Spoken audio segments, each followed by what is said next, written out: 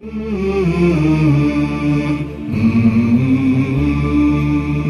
السطور لطائف النفحات.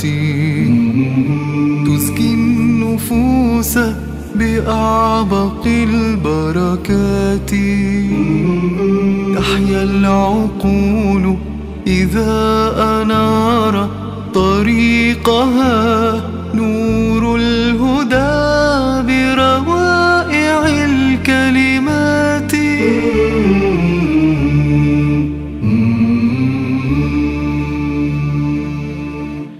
بسم الله الرحمن الرحيم. الحمد لله رب العالمين. والصلاة والسلام على محمد وآله الطاهرين.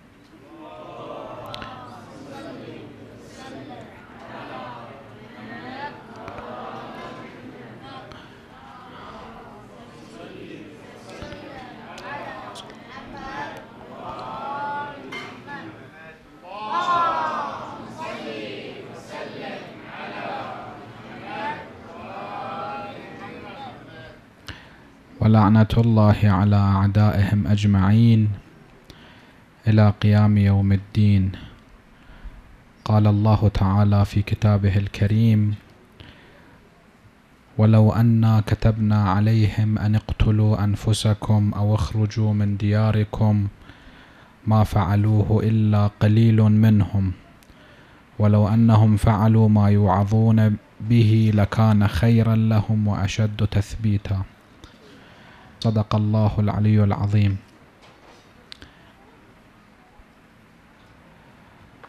الله عز وجل لم يخلق شيئا ولم يجعل شيئا عبثا وإنما كل شيء خلقه الله سبحانه وتعالى أو جعله إنما لمصلحة ولحكمة. ولنافع. وكما يذكر العلماء فإن الله عز وجل لم يخلق إلا الخير. ماكو مخلوق من مخلوقات الله سبحانه وتعالى خلق إلا خلق خيرا. وإذا هناك شر أو سوء فإنما هو بسوء تصرف المخلوق. يعني الطفل الذي يولد في الحديث الشريف كل مولود يولد على الفطرة. يولد على الفطرة يعني يولد خيرا وفطرته سليمة. ولكن إلا أن أبويه هما اللذان يهودانه أو ينصرانه أو يمجسانه. إذا هذا صار يهودي أو نصراني أو مجوسي فإنما هو بسبب أبويه. وإلا أصل الخلق كان خيرا.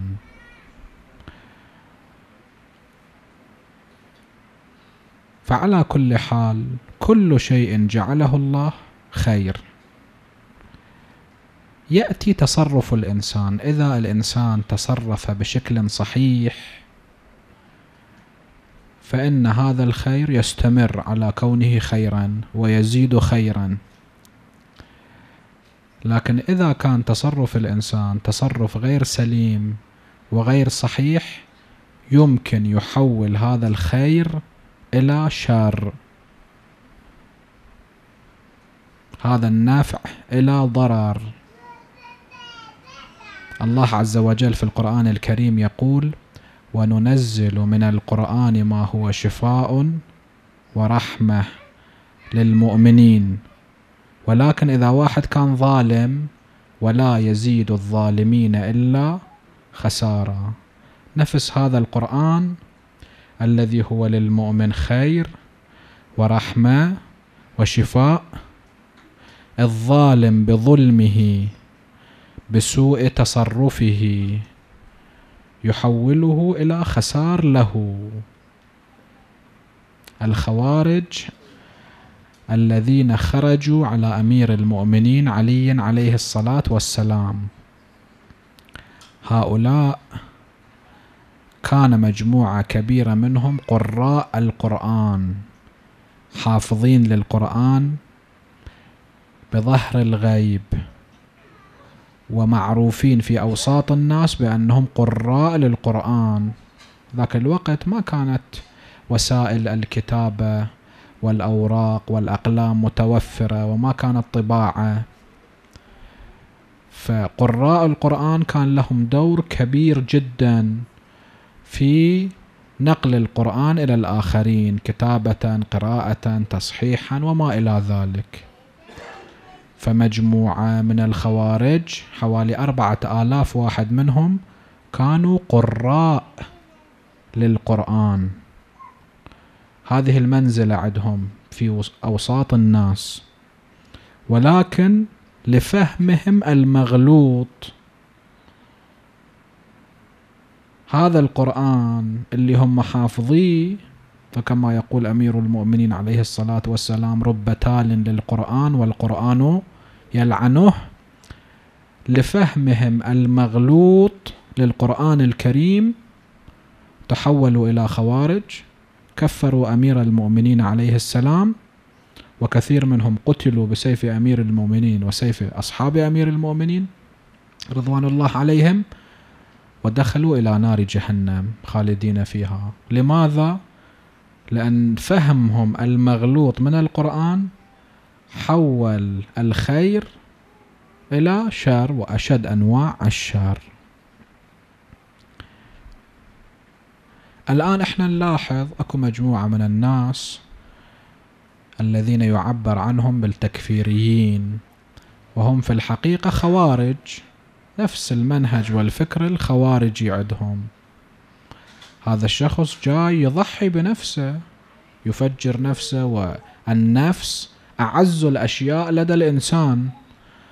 إذا الإنسان مستعد لأن يفجر نفسه ويموت معنى ذلك أنه مضحي من الدرجة الأولى.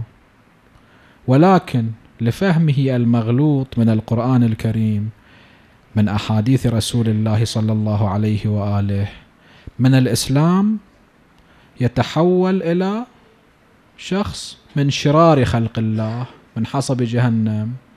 يقتل نفسه ويقتل الآخرين ويحشر مع القاتلين. لماذا؟ لأنه حول الخير إلى شر. القرآن حول إلى وسيلة ليخسر. الإسلام حول إلى وسيلة ليخسر. الله عز وجل كل شيء خلقه في الإنسان خلقه لمصلحة. ومن جملة الأشياء التي الله عز وجل جعلها في كل إنسان خوف والخوف من الضرر. الخوف هذه نعمة.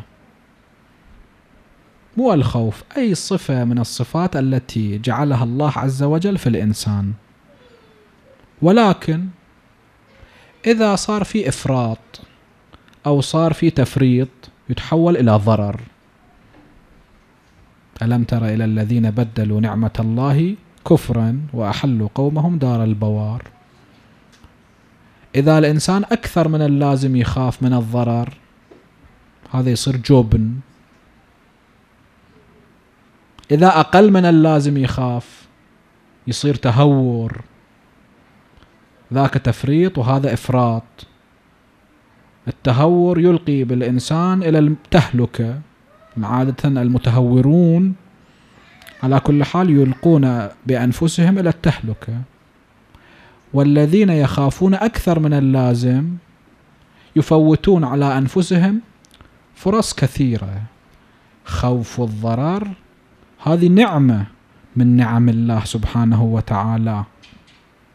لكن إذا جاوز حده كما في المثل كل شيء جاوز حده انقلب إلى ضده. إذا أنتم تشوفون التاجر الذي يريد أن يتاجر. هذا مرة يكون خواف جدا أكثر من اللازم يخاف الضرر لا يقدم على أي تجارة. هذا راح يخسر رأس ماله.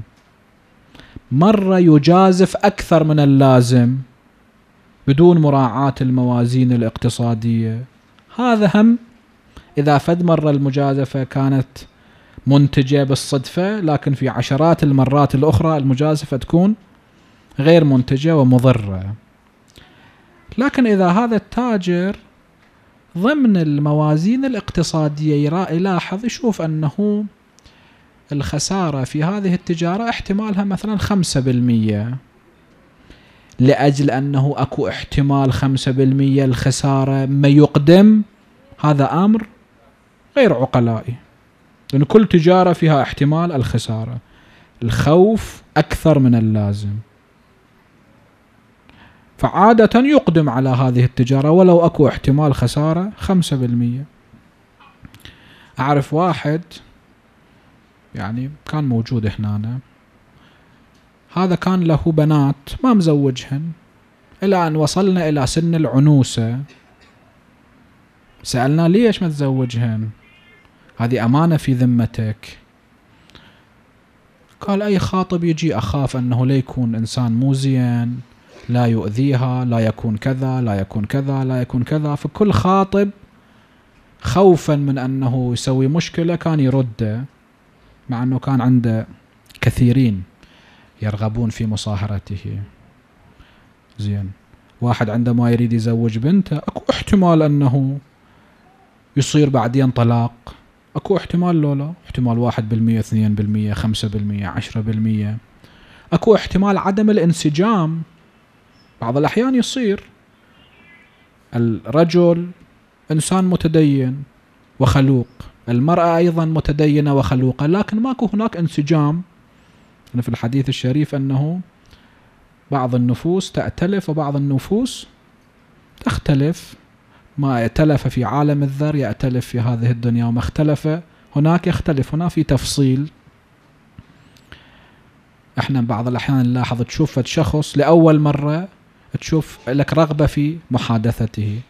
ويمكن فد شخص تشوفه من أول مرة تحس بانقباض في قلبك مع أنه ما تعرفه. هذه مسألة مرتبطة بأمور أخرى. فقد يكون الزوج متدين الزوجة متدينة هذا خلوق تلك خلوقة.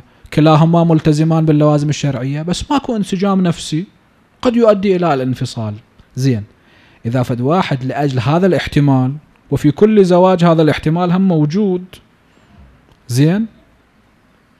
إذا لأجل هذا الاحتمال يرد كل خاطب النتيجة شنو هي؟ النتيجة أنه العنوسة تصير ومشاكلها. نعم الإنسان لازم لا يكون متهور بدون تحقيق بدون فكر بدون تأمل بدون مراعاة الموازين لكن يراعي الموازين بشكل عقلائي لا إفراط ولا تفريط. فخوف الضرر نعمة لكن الإنسان إذا شوية طوخ حسب تعبيرنا أكثر من اللازم يتحول إلى نقمة. الآية الشريفة اللي تلوناها عليكم في أول الكلام شنو تقول؟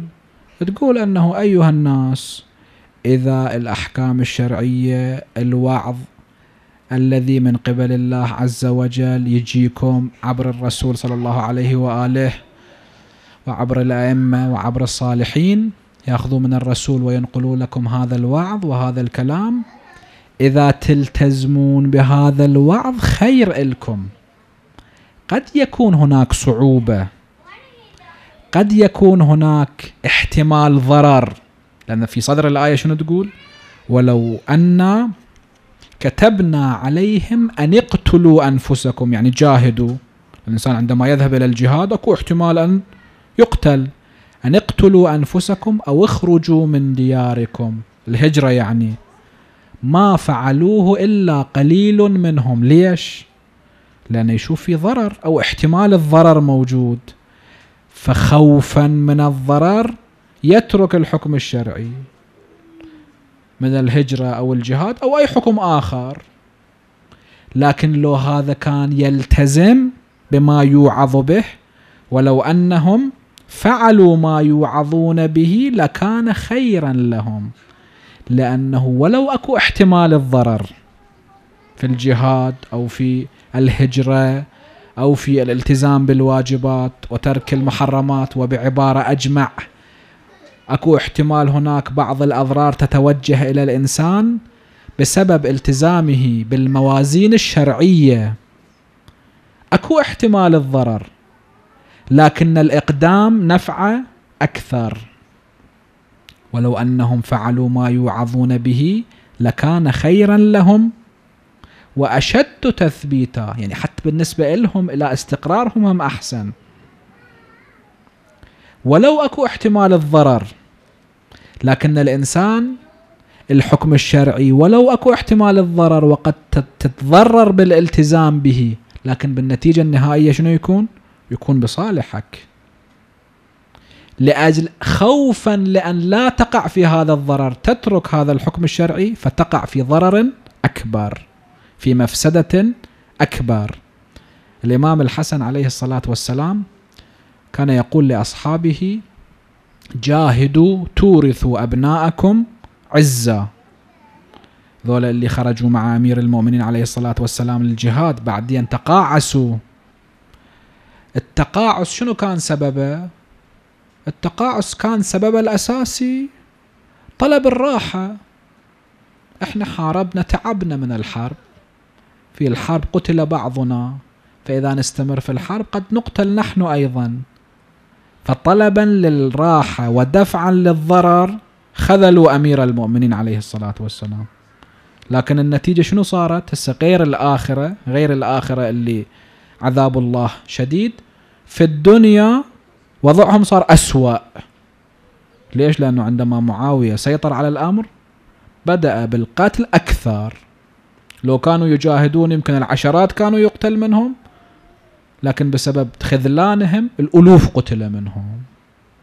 لو كانوا يجاهدون وضعهم المادي كان أحسن لكن بسبب ذلك وضعهم المادي صار أسوأ. الآية تقول ولو أنهم فعلوا ما يوعظون به لكان خيرا لهم وأشد تثبيتا. لاستقرارهم هم أحسن. اللي خذلوا الإمام الحسن وكان يقول لهم جاهدوا تورثوا أبناءكم عزا فلما شاهد خذلانهم له شنو قال لهم؟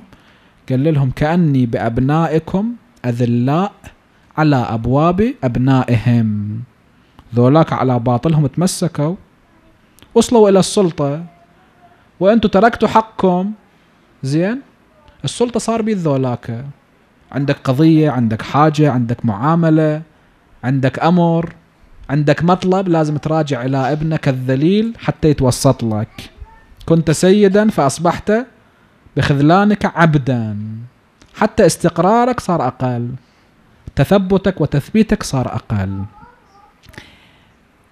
الخلاصة أن الحكم الشرعي والموازين الشرعية في أي مجال قد الإنسان يحتمل الضرر في الالتزام بها وقد يواجه بضرر أيضا لكن تركها ضرر أكبر.